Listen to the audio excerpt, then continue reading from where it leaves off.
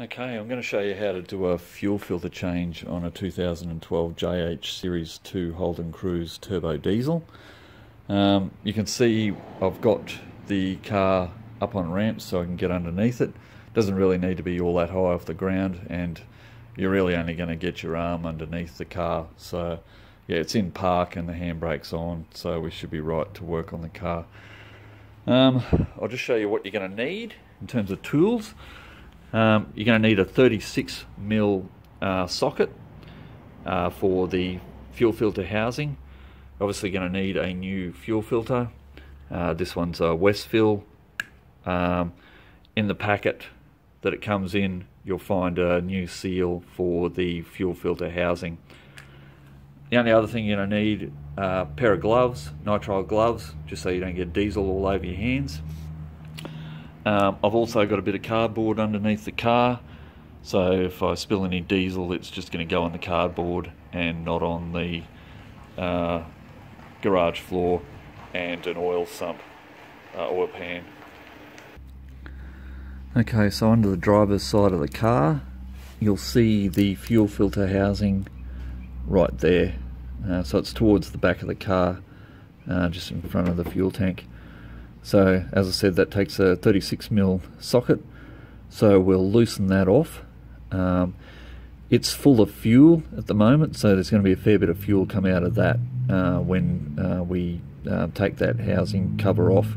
So that's why you need the um, sump uh, pan for that to fall into. Um, the car needs to be off, so the car's off. There's no fuel pressure uh, in the fuel system. Um, if your car is on, there's going to be fuel pressure, quite a lot of fuel pressure. So make sure your car is switched off before you do this. Um, so switched off, um, no pressure, but a lot of fuel is going to come out of there.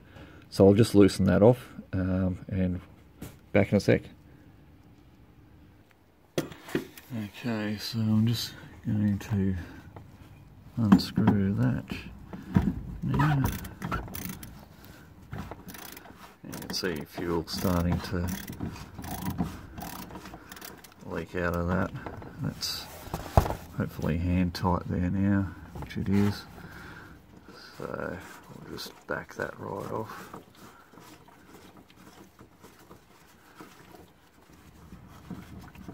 And there'll be fuel pissing out everywhere in a sec. There it goes. So yeah, so that's why you need your oil pan underneath there and a bit of cardboard. So yeah, so that's the fuel filter clipped into the housing. Um, up here, you need to pull that seal out because we need to replace that. Let's try and get a hold of that. I need a pair of pliers maybe. Get onto that.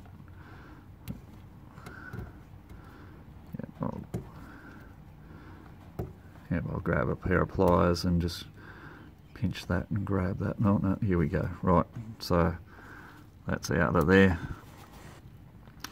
Okay, so um, we need to uh, pull the old filter out of the housing, uh, pop a new seal in there, tighten it all up, and um, we'll go on to uh, repressurizing the fuel system. Okay, so this is the old filter here. Um, I can't remember what the recommended service intervals for these are, but I change mine every 12 months when I do a major service on the car. Um, I think it might be every two years that they recommend to change these, but they cost, you know, oh, you know, 25 to 40 bucks depending on where you get them from, so they're not a high cost item. So that's the old one out. I'll just chuck that in this bucket over here, get that out of the way and the new one. Just pops on there. And that's ready to go back in the car. Okay. Right we're ready to reinstall the seal uh, on the fuel filter housing. Uh, you'll notice that it's beveled so you can just see there's a bit of a split there. So that's the thicker end there. Turn it over. That's the thin side um, the thick side goes up into this housing up here, so that'll get held in place. You can see that like so. And then we can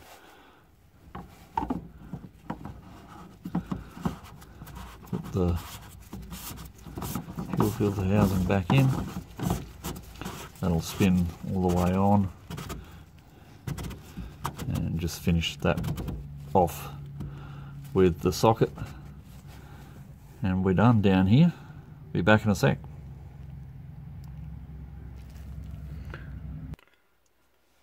Okay, so the fuel filter housing is done up tight. Um, now we need to repressurize the fuel system because we've um, taken the bowl out that holds the fuel filter. Um, that was full of fuel.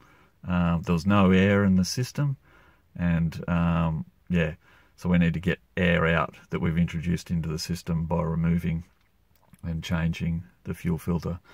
So what you do is you want to turn the car to the on position. You don't want to start it at this stage. We're going to do this about six or seven times until we get all the oil, uh, all the air out of the fuel system. So when I turn the car on, the fuel pump's going to turn on and you'll be able to hear air gurgling through the fuel lines.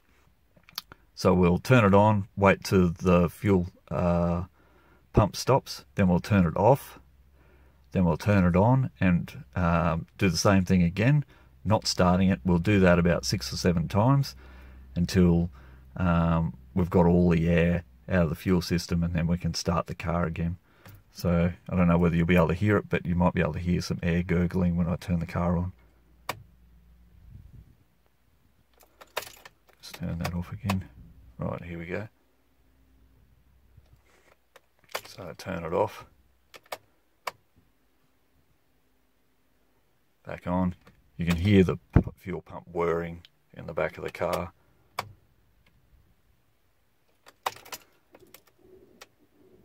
I just heard a whole pile of air there. So you turn it right off and then back on again. Don't know whether you heard that, but that's a lot of air.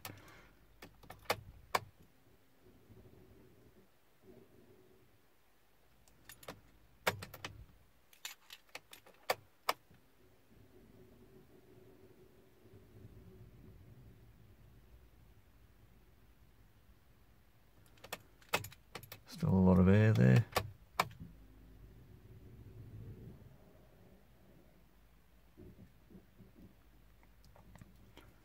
Can hear a lot of uh, air gurgling in the engine bay now, so we're getting close.